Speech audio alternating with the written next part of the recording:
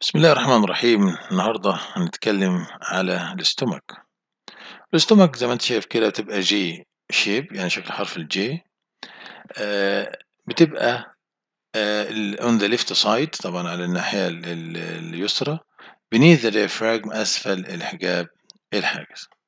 storage tank ده عبارة عن storage tank يعني مخزن لتخزين الطعام حوالي about 1 لتر والحقيقة زي ما انت شايف كده هتلاقي المعدة محاطة ب two sphincter اللي هو ال gastroesophageal أو ال cardiac sphincter وال pyloric sphincter عشان الطعام يظل في المعدة ويحصل فيه هضم المواد الغذائية عملية ال discharge أو التفريغ المعدة ده أو ال empty of the stomach بتبقى depends on the ال kind of the food يعني طبيعة الايه الغذاء. المعدة بتعمل إيه؟ بتعمل mechanical digestion هضم ميكانيكي حركي عملية ال churning of the food mix of food with the juice. And the form which is called ال chyme ودي تبدأ تكون لك حاجة بيسموها ال chyme أو الكيموس اللي هو partially digested food الطعام النصف مهضوم اللي حصل له ميكس مع ال gastric juice الطعام هو في الفم اسمه chewed food طعام ممضوغ لما يوصل ال pharynx بقى اسمه الس- ال bolus. يتحرك ال bolus في ال esophagus لحد ما توصل لل stomach وال stomach تبدأ تكون لك ال chyme اللي هو ال gastric chyme أو ال acidic chyme لأن البي إتش في المعدة تبقى من واحد لاثنين فالبي إتش بتبقى حمضية عشان كده بيبقى الكيموس ده حامض. ال chemical digestion اللي هو الهضم الكيميائي للايه البروتين بيحصل بس في المعدة. طبعا ليه؟ لأن فيها إنزيم مهم جدا هو البيبسين. يبقى الهضم كان بيحصل في ال sto- في ال- في ال mouth كان للكربوهيدرات.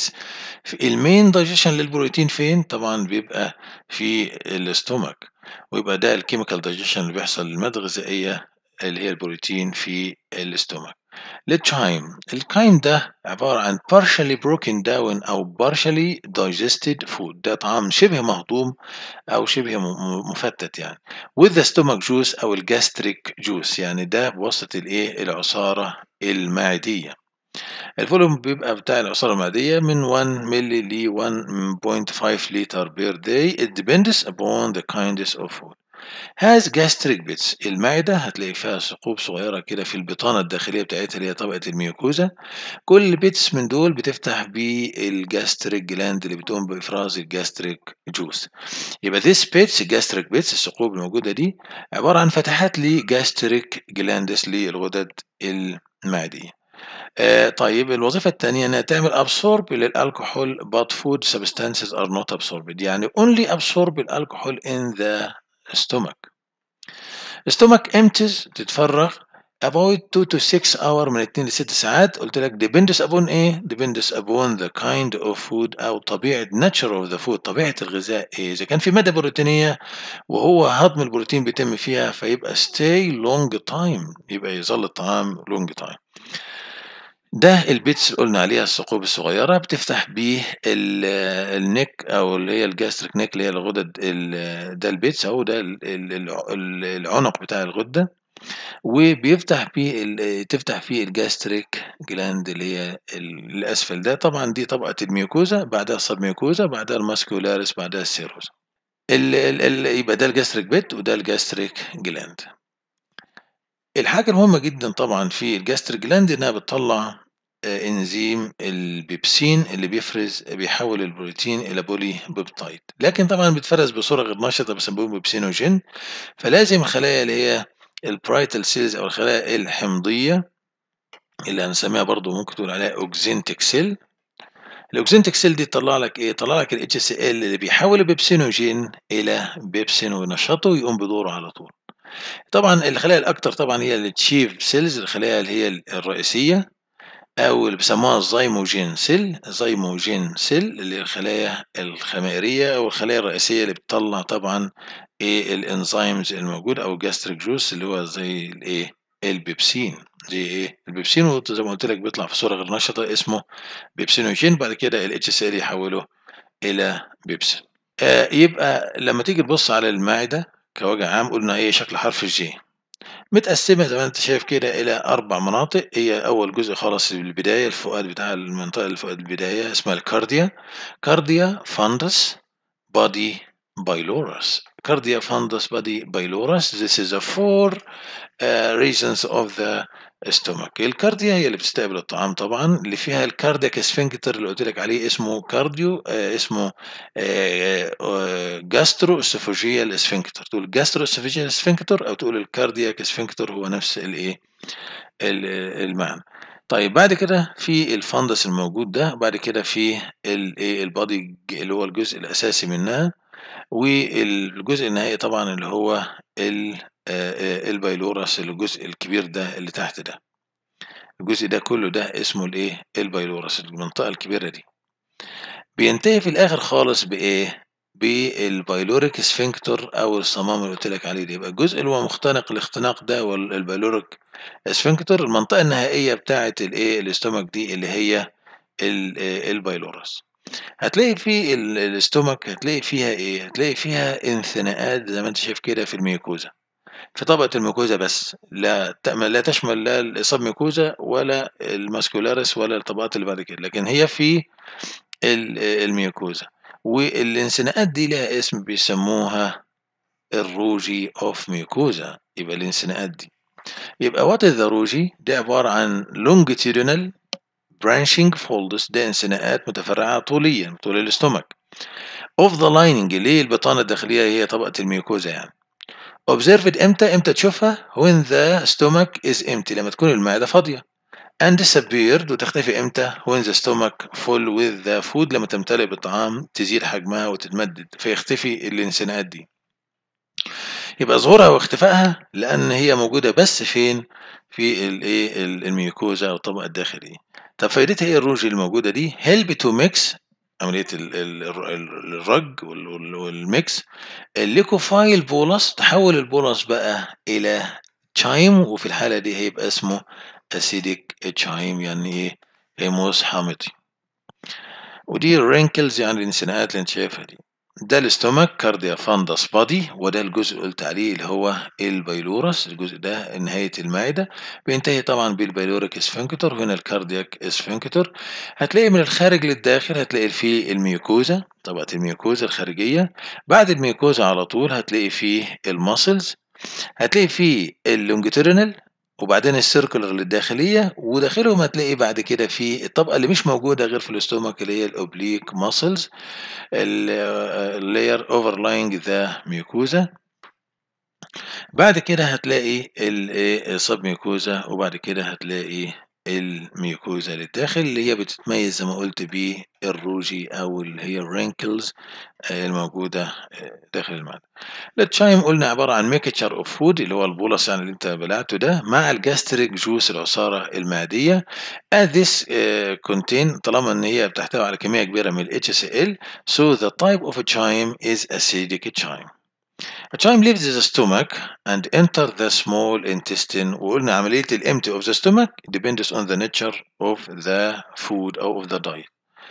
نتكلم بعد كده على ال gastric gland أو ال gastric juice ال gastric gland لما تيجي تشوفها قلنا عبارة عن جزئين ال gastric pit وال gastric gland الثقوب نفسها اللي بتوصل لل gastric gland طيب ال gastric pits دي اللي هي فيها mucus neck cells خلايا العنق الايه المخاطية اللي هي بداية الايه الغدة كده من فوق. ده secrete ال mucus والبايكربونات. يبقى دي مهمة جدا بتفرز لك حاجات مهمة جدا نقول دورها دلوقتي. ال mucus وطبقة الايه البايكربونات عشان تبقى إيه تعزل الوسط الداخلي البي اتش هنا حوالي من واحد لاتنين تعزله عن الايه الخلايا الطلائيه الموجودة اللي في المعدة عشان ما يحصلهاش تآكل أو تحلل لأن لو وصل الاتش سي ال هنا هيحصل ulcer في الايه بيسموها ال peptic ulcer قرحه المعدة. طيب الغدة بقى نفسها عبارة عن إيه؟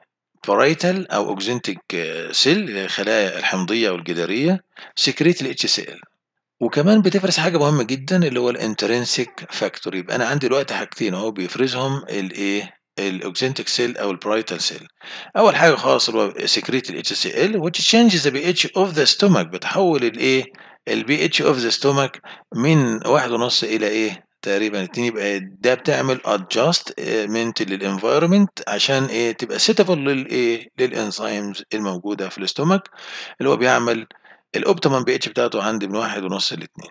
تاني حاجة إنها ممكن تعمل kill للبكتيريا وتعمل breaks down تفتت الإيه، البروتين عشان يبقى سهل بعد كده في عملية ال digestion. ال parietal آآ آآ cells تفرز إيه كمان، تفرز ال intrinsic factor هو العامل الداخلي اللي هو بيعمل protect للفيتامين B12 فيتامين B12 المهم جدًا طبعًا آآ علشان نضج كرات الدم الحمرا وتحويلها من خلايا فيها نواة وتفقد نواة وتبقى خلية توصل لحجمها الطبيعي وتتملى بالهيموجلوبين، لازم يبقى في فيتامين B12 وال folic acid. يبقى طالما الفيتامين B12 ده مهم جدًا بالنسبة لصحتك، فلازم يبقى فيه آآ لو عدّى من ال HCl والكلام ده هيتكسر، وبالتالي لازم يبقى في intrinsic factor بيعمل like shuttles allow it to آآ transport from the stomach and allow it also to tra absorbed in the small intestine. النقطة التانية هي chief أو zymogenic cells الخلايا الخميرية أو الخلايا الرئيسية. secrete ال pepsinogen zymogen pepsinogen ده في صورة غير نشطة، يبقى طالما في كلمة pepsinogen يبقى تعرف إن هو صورة غير نشطة. لازم له إيه؟ عشان يحصل له activation. لازم له ال PH اللي هو الحامضية لازم له ال HCl يعني. فال pepsinogen ده inactive form صورة غير نشطة، الصورة غير نشطة لمين؟ هو مين أساسًا؟ هو البيبسين. يبقى ال pepsin ال pepsinogen يتحول إلى بيبسين عن طريق مين؟ عن طريق ال HCl زي ما قلنا قبل كده. طيب this activated يبقى اللي هو ال pepsinogen ده يتنشط بواسطة إيه؟ ال acidic pH اللي هو ال HCl الموجود في ال stomach ويتحول يبقى بيبسين. في الحالة دي البيبسين يقوم بدوره ويحول البروتين إلى polypeptide أو peptides صغيرة. اكتمل نمو تهضمها لأ يبقى لازم لها final digestion أو fine digestion ويحصل طبعًا في ال small intestine بدايبيبتايديزيس يتحول إلى amino acid. النوع التاني من الخلايا برضه تلاقيه اللي هو ال entero endocrine cells موجودة ودي نوعها ال G cells وال D cells. ال G cells اللي هي موجودة secrete numerous hormone G cells تفرز ال gastrin hormone وده مهم جدا في عملية ال control لل gastric juice وال D cells بتفرز ال somatostatin hormone. ده جدول كده يوضح لك باختصار الخلايا الموجودة أدى ال mucous neck cells الخلايا العنق الموجودة في ال gastric pits في بداية الغدة دي بتفرز ال bicarbonate وال mucus ودي طبعا البايكربونات بيبقى physical barrier حاجز لتجويف البطانة المعدية عشان يمنع وصول البي اتش أو الاتش سي ال الموجود لل epithelium أو ال mucosa. البايكربونات بتعمل buffering لل gastric juice حتى لو وصل كمية قليلة منه تعمل له عملية معادلة وتوصل البي اتش تقريبا حوالي سبعة على سطح الايه الخلايا. ال parietal cell زي ما قلنا بتفرز الايه ال gastric HCl وبتفرز ال intrinsic factor ده بيعمل activation لل pepsin ويقتل البكتيريا وده بيكون complex مع الفيتامين B 12 يسمح بعملية إيه مروره من ال stomach وفي نفس الوقت بيسمح بعملية ال absorption في ال small intestine. النوع الثاني اللي هو ال chief cells الخلايا الرئيسية وده بتفرز طبعا ال pepsinogen في صورة غير نشطة وبتفرز برضه gastric lipase وإن كان ال gastric lipase ما بيقومش بدور مهم جدا في عملية ال digestion لل fats لأنه بيبقى عايز وسط حامضي يعني ال lipase دايما عايز وسط متعادل لكن هنا بتبقى الوسط حامضي فما بيقومش بدوره. بيقوم بدوره في كان ليه دور في ال baby أثناء عملية الإيه؟ ال lactation الرضاعة. pepsinogen بي بيعمل دايجيشن للبروتين. ال D cells بتفرز هرمون السوماتوستاتين وده بيعمل inhibition لل gastric acid secretion بيقلل إفراز الاتش سي ال وال G cells بتفرز الجاسترين وده بيعمل stimulation لل gastric acid secretion أو gastric juice نوع تاني من ال entero chromaffin like cells دي بتفرز مادة الهستامين اللي بتعمل stimulation لل gastric acid إيه secretion زيها زي الايه الجاسترين يبقى ده اللي أنت شايفه الرسم ده. طبعا دي ال stomach خدنا جزء من كبرناه ده عبارة عن ال gastric pit وده في تجويف المعدة.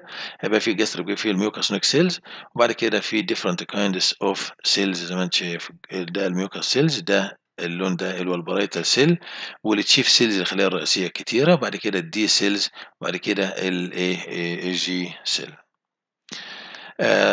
دور المخاط بقى والبايكربونات أدى البيكربونات أهو ودور طبقة الإيه ال mucus الموجودة دي إيه في المعدة، إنها بتعمل قُلنا ال barrier ده physical barrier اللي هو ال ال الم ال ال ال mucus physical barrier يمنع الخلايا يمنع بقى الوسط هنا كام؟ ال pH حوالي كام؟ 2 يعني في هنا HCl يمنع وصول ال enzymes وال HCl للخلايا هنا علشان ما يحصلش قُرحة للمعدة، وبالتالي لو آآ حصل تسريبات صغيرة هتلاقي في موجود كمان البيكربونات اللي بيعادل ال pH على سطح الخلايا لحوالي آآ 7 طبعًا ال mucus ده بتفرزه neck cells الموجودة. الألسر أو قرحات المعدة if the protective mucus layer الطبقة اللي إحنا قُلنا عليها اللي هو الحاجز ده المخاطي if the stomach starts to breaks down آآ بدأ يتآكل أو يتكسر. The epithelial lining now and the underlying connective tissue النسيج الضامن اللي تحتيها كمان exposed يتعرض للextreme environment البيئة الحادة الشديدة دي اللي هو طبعًا الpH بتاعها بيبقى حوالي 2 ويتعرض لمحتويات الإيه المعدة يعني، وبالتالي الألسر ممكن إيه آآ تنشأ من كده.